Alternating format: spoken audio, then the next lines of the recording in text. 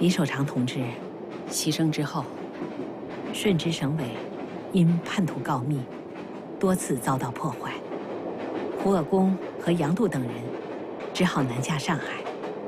后来我听说，胡鄂公学着杨度的样子，投入孔公馆，成了客卿。啊，那孙夫人认识这位胡鄂公吗？我想，应该认识。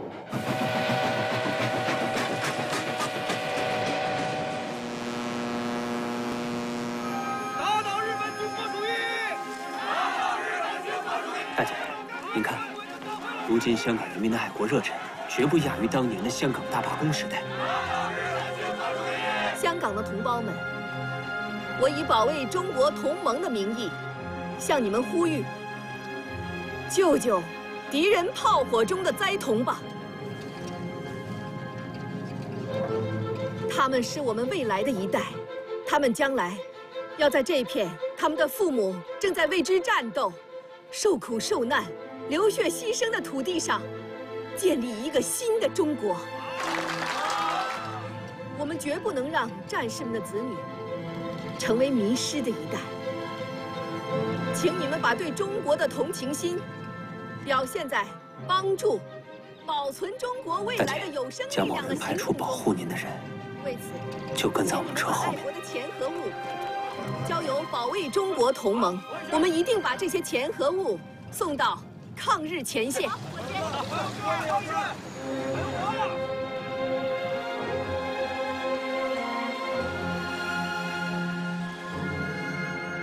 孙夫人，看你高兴的。夫人，夫人，您的贵客到了。小超，孙夫人，我们又见面了。嗯，小超，嗯，我特意约香凝来见你。太想你了，何大姐。我们也想你呀、小超啊，我们都快十一年没见了。同是中国人，我们为什么在自己的国家见一面就这么难呢？你说得好，为了我们在自己的国土上可以自由相见，我们还需要继续努力奋斗。嗯，是啊，李姐，为了欢迎久违的贵客，我特意煮了咖啡，请给我们端上来。好的。来来来，我们都过来，坐在沙发上，说说各自的心里话。好，听孙夫人的。哟，孙夫人煮的咖啡好香啊！那我们就边喝边谈，请。好，来，啊，谢谢。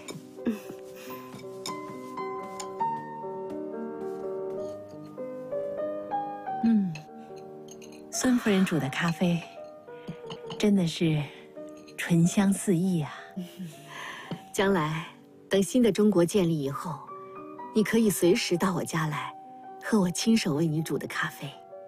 我真盼着这一天能够早点到来。我想会的。我跟小超的心情是一样的。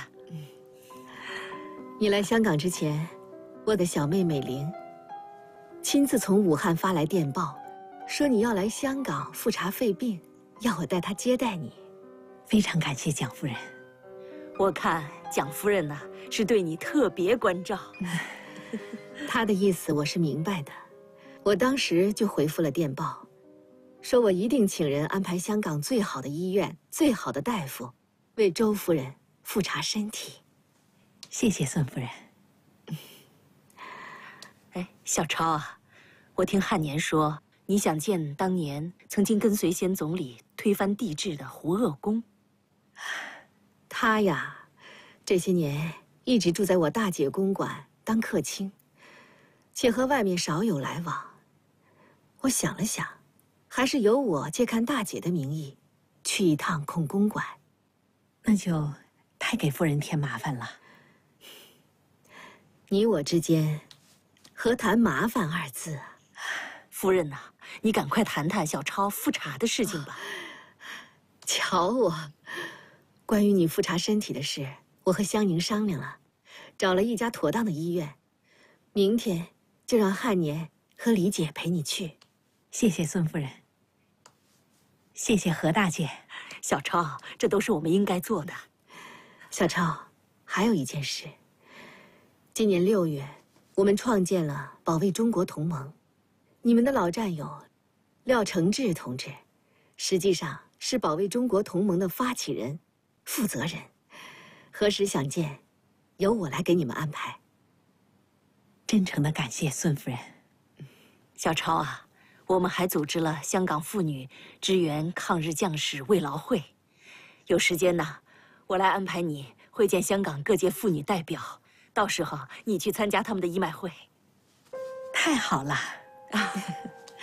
好，来来来，光谈正事了，喝咖啡。好，好。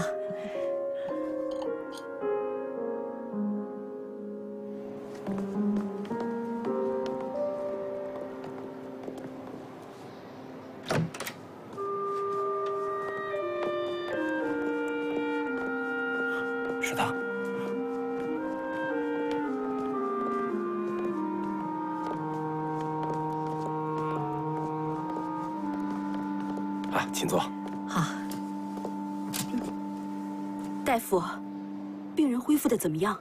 很好，真是个奇迹。这奇在什么地方？从检查情况看，当年你的肺病相当的严重，现在恢复的这么好，不可思议啊！太好了，真的是太好了。详情啊，等片子出来就知道了。那就回去好好休息吧。啊谢谢大夫，谢谢大夫，谢谢大夫，不客气。好，慢走。哎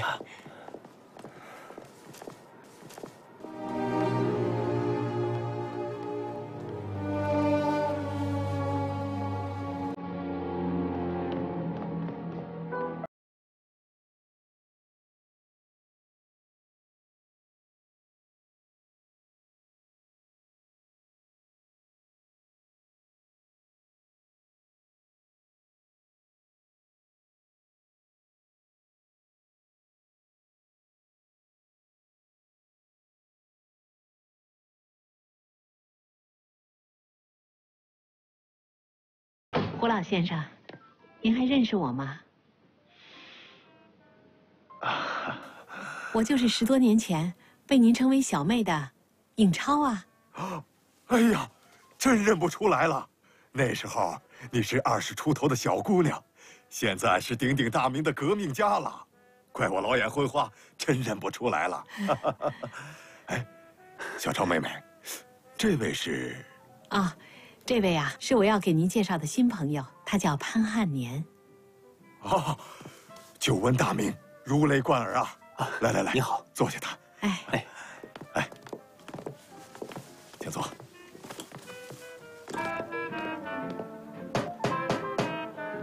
请进。您好，请用咖啡。谢谢。请慢用啊，谢谢。您请。谢谢。多谢啊，胡老先生。我发现啊，无论是老朋友还是未曾谋面的新朋友，大家都非常关心您。哈哈，谢谢。我的好友李希九怎么样了？很好，听说他在天津当狱工。啊，最近啊，我常看见秀才张有余的文章。他怎么样？我很想念他呀。我们偶然。会在武汉相遇，他呀，也非常想念您。我想你们也都知道，国民党政府决定，八月一日开始迁都重庆。据说我那位好友，汪兆铭，已经带领国府的大小官员，迁到重庆办公去了。听您说话这口气，您似乎对这位老朋友不放心呐。我想，你们也不放心吧。为了抗日救国，我还可以像当年在上海一样，和这位新朋友潘先生纵论天下。这正是晚辈所希望的。小超妹妹，哎，你们在香港多住些日子吧。如果有什么需求，尽管吩咐。说到吩咐，您真是折煞我这个小妹了。这次来香港，主要是为了复查身体，和拜见您这位忘年之交。哎，事情办完了，再过几天，我就陪孙夫人去革命策源地广州去演讲，发动妇女走出家门，准备抗击日本军国主义的侵略。嗯很好。见到廖夫人和承志了吗？还没见承志，近期孙夫人就会安排的。啊，好。来，请喝咖啡，请啊。哎，来，谢谢孙夫人，在您的帮助下，我来香港的事情十分顺利的完成了。今晚再见一下承志，我就可以陪着您去广州，亲自拜谒黄花岗七十二烈士的陵墓了。夫人，承志到了。今天啊，我廖承志就没大没小了。首先给您鞠个躬，然后就跟远方的客人小超大姐聊天了。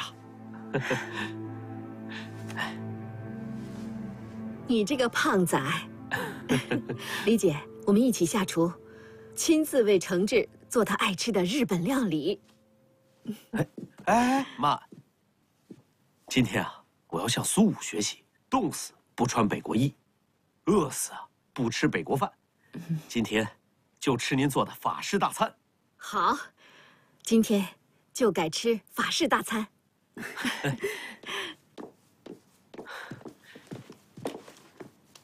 啊 真没想到，在香港还能遇到您。欢迎。嗯。啊，来。哎，呃，这吃嘛就由孙夫人管了，住呢由香港工委包了，我呢就负责向您传达刚刚接收的。哦。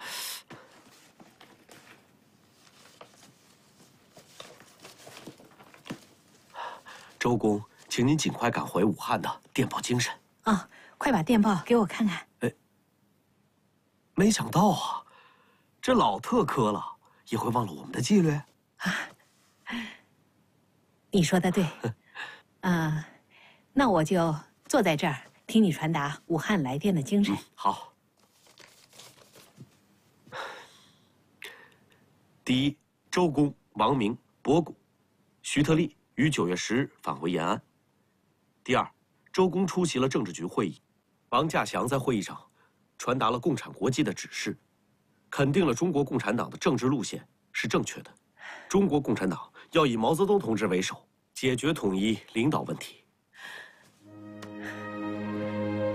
太好了，太好了！哎，小超大姐，啊，中央对香港工委还有什么指示吗？哦，坐。啊，继续认真贯彻党中央的政治路线，在统一战线的工作中，贯彻坚持抗战，反对投降；坚持进步，反对倒退；坚持团结，反对分裂的方针。尤其是要利用好香港的优势，揭露蒋汪，尤其是汪精卫打着和平的幌子，行卖国实质的投降路线。请转告中央，我们坚决完成任务。真的想随小超大姐和孙夫人一起去广州。啊，站在黄花岗七十二烈士墓前，告诉我父亲的战友们在天英灵，曾与他们一起战斗的汪兆铭等人，就要投靠日本军国主义了。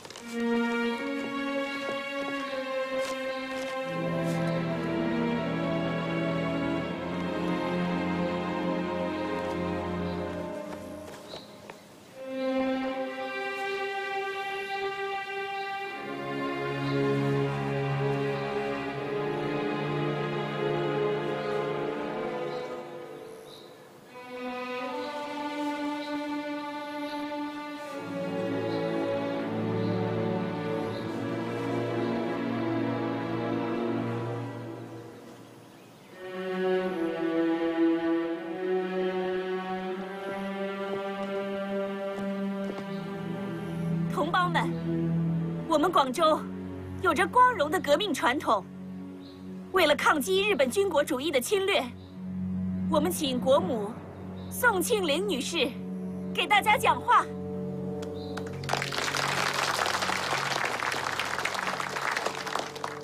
同胞们，日本侵略者的铁蹄踏遍了大半个中国，保卫大武汉的战斗就要打响了。我们的军队，尤其是深入敌后的八路军、新四军，缺衣少食，没有弹药，将士们受伤了，连急救的药品都没有，怎么办？我在香港。成立了保卫中国同盟，向一切爱好和平的人民，还有那些反对战争的国际友人求援。加拿大的白求恩大夫背着药箱来到了中国，印度的医生爱德华等也拿起了手术刀，冲上了抗日前线，救死扶伤。我们怎么办？我们一定要做好保卫广州、保卫香港的准备，打倒日本军国主义，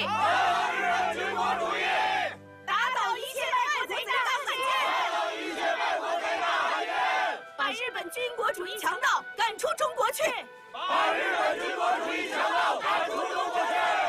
同胞们，下面，请广州人民最为熟悉、最为热爱的。原黄埔军校政治部主任周恩来同志的夫人邓颖超女士发表讲话。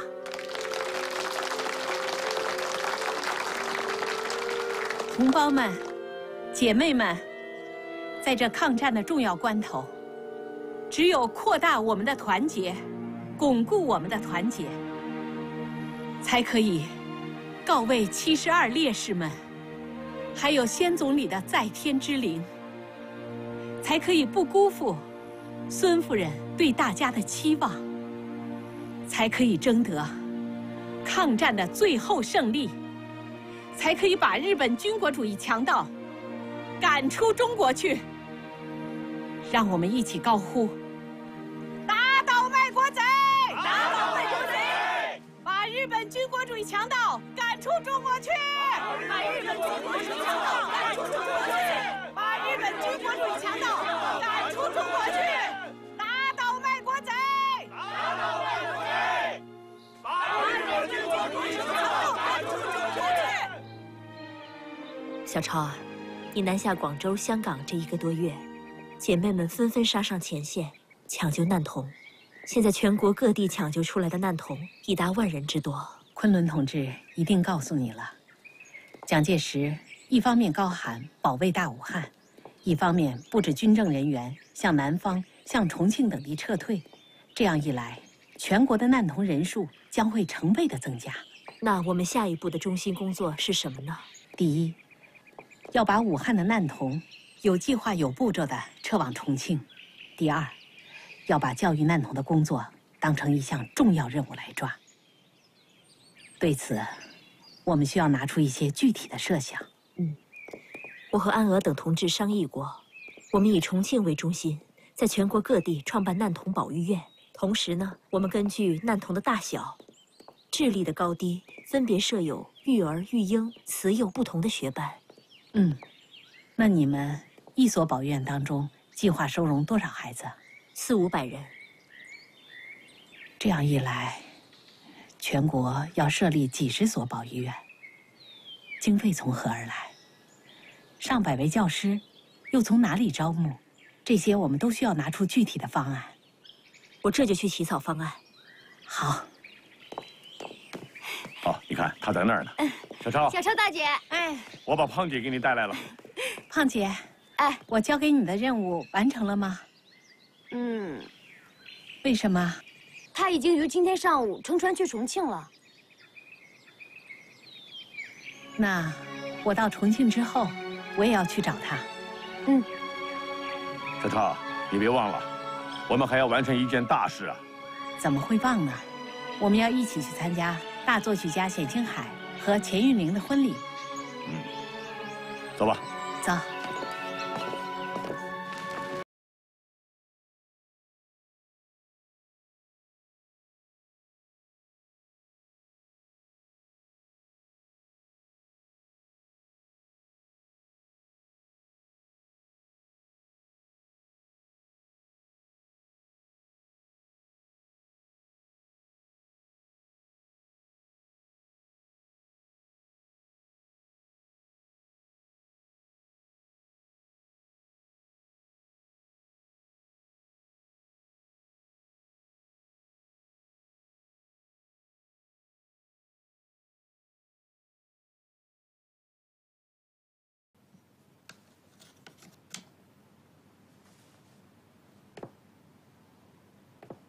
天汉同志，你是今天婚礼的司仪，请你宣布婚礼开始吧。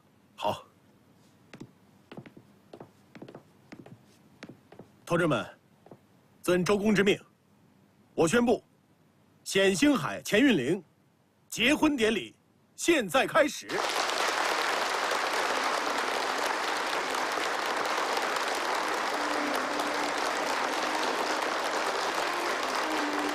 同志们，我平生参加过很多次的结婚盛典，可唯有今天，我是怎么也笑不起来。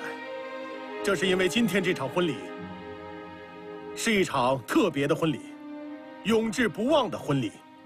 下边，有请我们的郭厅长，在日军进攻武汉的枪炮声中，为我们的战友冼星海、钱运玲主婚。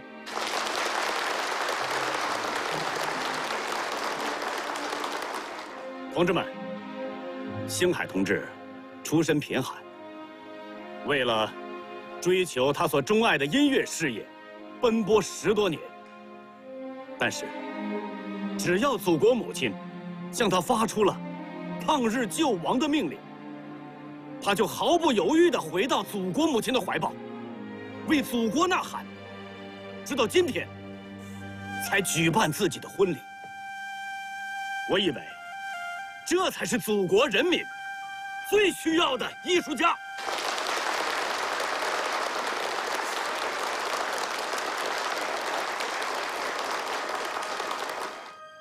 我建议，把今天冼星海、钱运玲的婚礼变成我们三厅在武汉举办的最后的晚宴。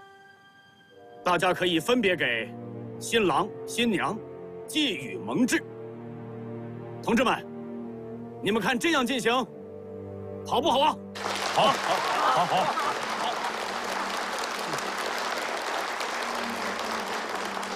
我首先响应郭老的提议，请求第一个发言。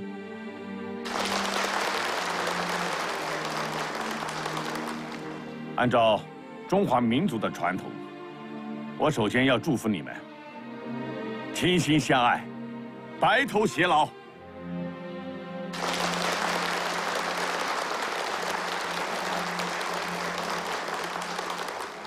同志们，我要送给新郎冼星海同志一份电文，就算是送给新郎新娘的一份礼物吧。谢谢，同志们。按照祖宗的传统，结婚收的礼物是要公开的。我提议啊，让新郎官冼星海给大家把电文念一念，好不好？好？好，好，好，好好。星海，念念吧。好。好。冼星海先生，延安鲁迅文学艺术学院音乐系全体师生，诚挚的聘请您为教授，望您早日赴任院长。沙可夫，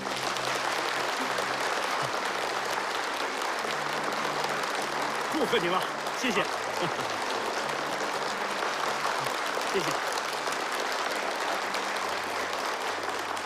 新郎新娘，我南下香港时见到了孙夫人，当她得知你们就要结婚，让我转达对你们的祝福，并希望大作曲家冼星海先生能够创作出。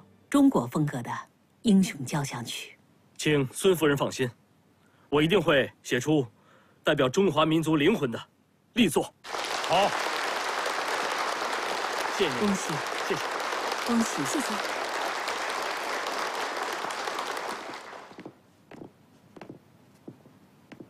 同志们，我说几句。星海同志就要去延安了，我是真心为他高兴。可这也意味着，我们就要分别了。作为一起工作过的战友，我这心里啊，真不是个滋味。星海同志，在你的婚礼上，我想最后再向你提一个请求，不知道你能不能答应？严汉生同志，您在餐厅是我的领导，有什么要求，您就尽管说吧。我想请你再为我们写一首战歌，让我们唱着这首战歌，奔向各自不同的战场。那，请问您对这首战歌有什么想法吗？有一位诗人写了一段歌词，非常有力量，名字就叫《到敌人后方去》。到敌人后方去，把鬼子赶出境，不怕雨，不怕风，包后路，出奇兵。好啊，真是太好了！您放心，我一定把它写好，让《到敌人后方去》这首歌，伴随着我们的战友，杀向不同的抗日战场。好，好，好。好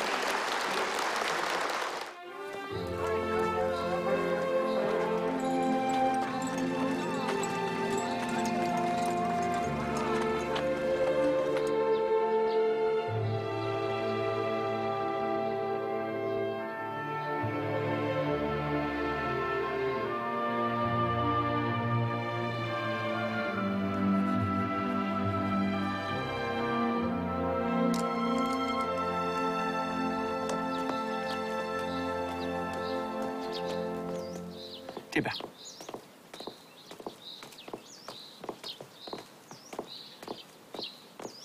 请。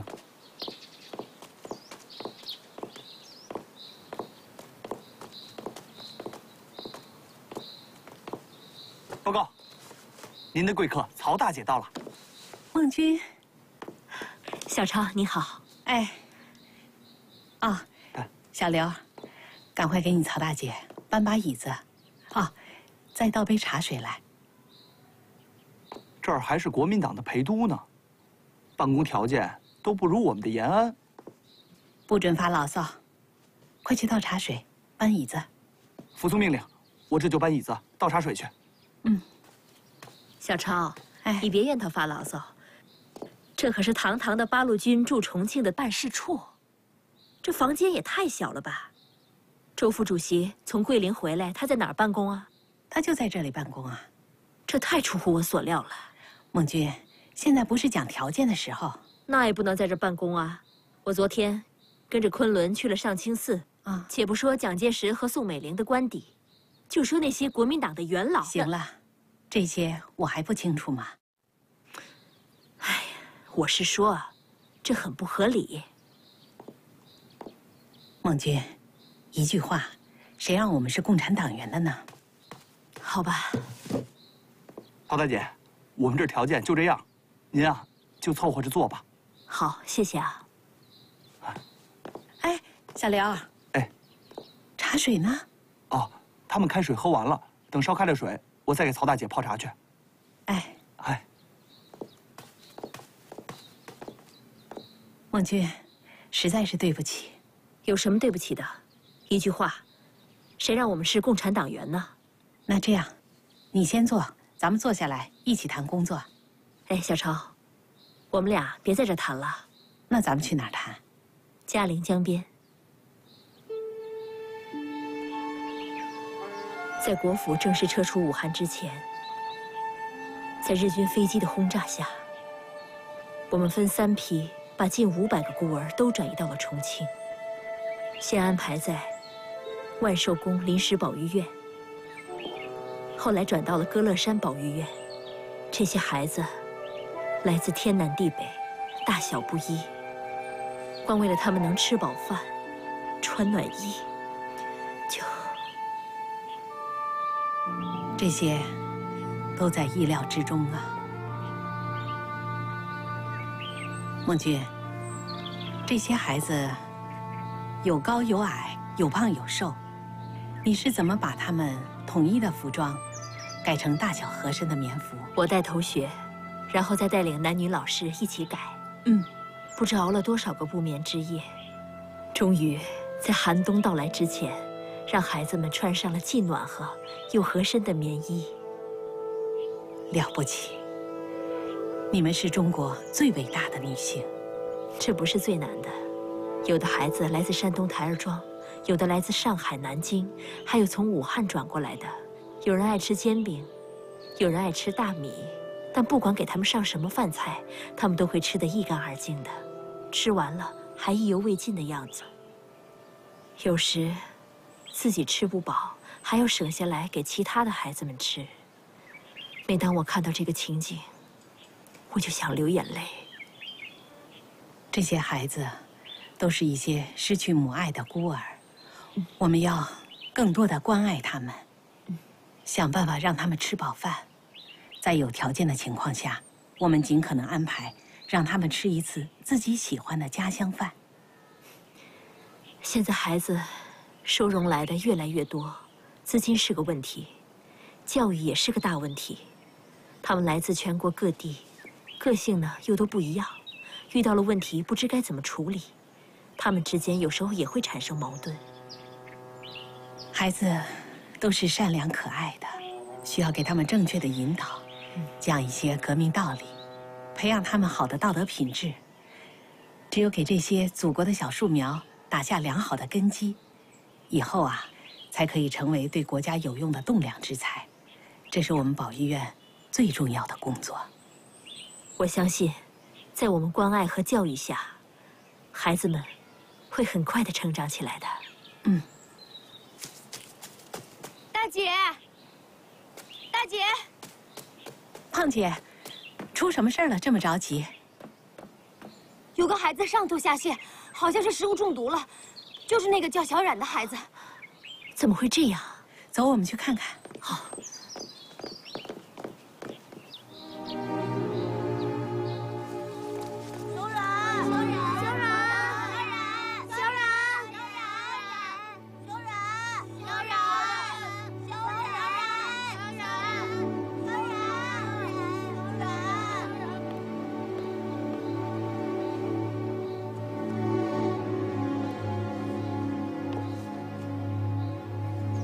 走这边，小赵大姐、曹大姐，现在孩子还很虚弱，啊我之前已经送到医务室了。孩子们，邓妈妈来了。邓妈妈，哎，孩子们，我看看。啊，孩子们，啊，怎么了？不哭不哭，跟邓妈妈说说。不好。小冉吃了我的煎饼之后就这样了。什么煎饼？怎么回事啊？好孩子，告诉邓妈妈，你放心，曹姑姑和我都不会怪你的。小冉特别喜欢吃煎饼，嗯，咱们这里好几天才会吃一次。我知道他今年过生日。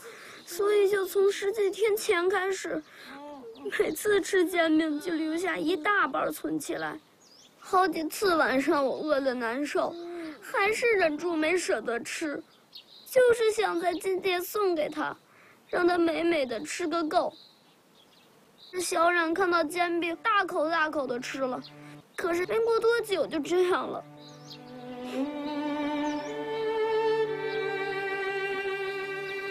邓妈妈，以前我们转移的时候，胖阿姨就会把她存的粮食分给我们吃，自己只喝水。现在每天吃饭的时候，曹姑姑就会把她的饭菜分给我们一些。我想学他们，可是却把小冉给害得生病了。多好的孩子，妈妈不但不会怪你。妈妈还为你感到骄傲。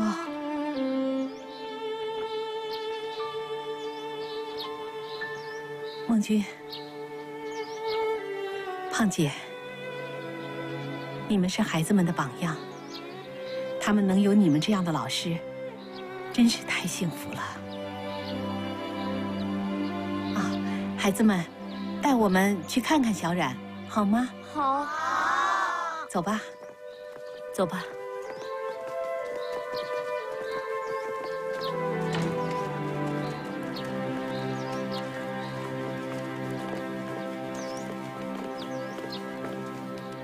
怎么样？现在好了？我没事了。可是王强送的煎饼真是好吃。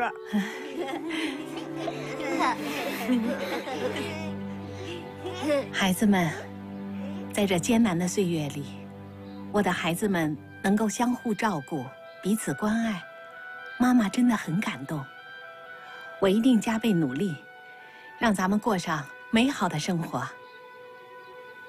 我以前跟大家说过，邓妈妈呀是走过万里长征的女英雄，长征的路上呢要比我们现在啊艰苦危险的多。我们请邓妈妈给我们讲讲长征的故事，好不好啊？好。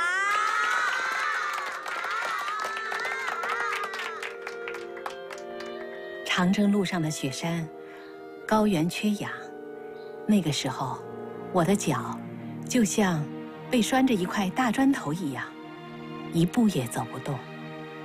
当时我又是个病号，无论如何也翻不过雪山。怎么办呢？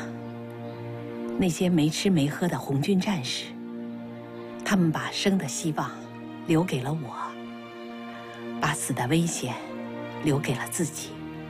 在他们的帮助下，我翻过了雪山。可有些红军战士，却永远的留在了雪山上。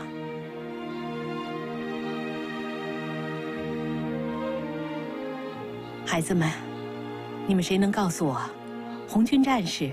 为什么要这样做呀？不知道。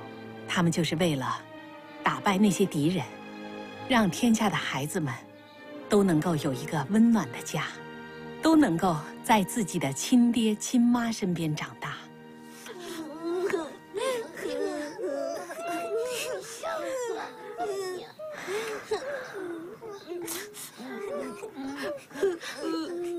孩子们。今天大家就凑合着吃榨菜，明天曹姑姑一定要让你们吃上新鲜的蔬菜，好吗？好。胖姐，哎，下令开饭吧。是。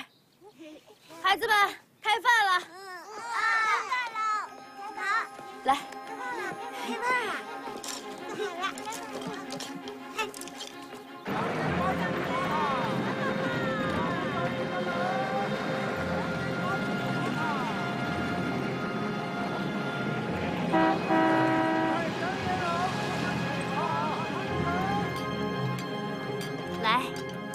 吃吧。孩子们，开饭了，来。给。太香了。那。来吃饭啊，你的。来，给你的。够了，米饭够了。这边有汤吗？哦，这边还没有。来，烫啊，慢一点啊。都有了吧？快吃吧啊！好吃，吃饭。邓妈妈，嗯，明天我们真能吃上青菜吗？我看呐，不需要等到明天。真的吗？嗯，真的。邓妈妈说话是算数的。今天晚上能吃上吗？嗯，我看呐，能。来同学们，邓妈妈说了，今天晚上就能吃上青菜了，真的啊！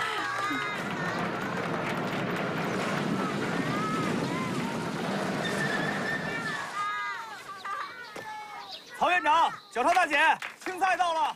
哎，孩子们，买青菜的车到了，大家赶快放下碗筷。现在我们一起到外面拿青菜，好不好？好。梦君，我们走。走，慢点，慢点，都慢点，孩子们，慢点，慢点。孩子们，别着急啊，来。来来，别抢，别抢。拿好了，拿好了，拿着，别抢别抢，孩子们别抢啊！来，拿好。来，拿这个啊，拿住了啊，拿好了。小超，这又是用你的薪水买的吧？昨天参政会发了饷，我就拿出一部分捐给了保育院。当妈妈的，给孩子买点青菜吃，那是再正常不过的了，不要放在心上。哎，这就是我们的小超大姐呀。来，给你，来，你拿这个啊。什么都不要说了。既然我们要做全天下孩子的妈妈，就一定要做到，宁可自己饿着肚子，也不能让孩子受委屈。等一会儿我就要回去了，有什么困难一定要告诉我，我们一起想办法解决。好的。你拿着这个啊，拿好了。多可爱的孩子！来来来，孩子们排好队啊！孩子们停一下，快来集合，快！我们都集合了，集合了，快过来！孩子们，我们先谢谢邓妈妈。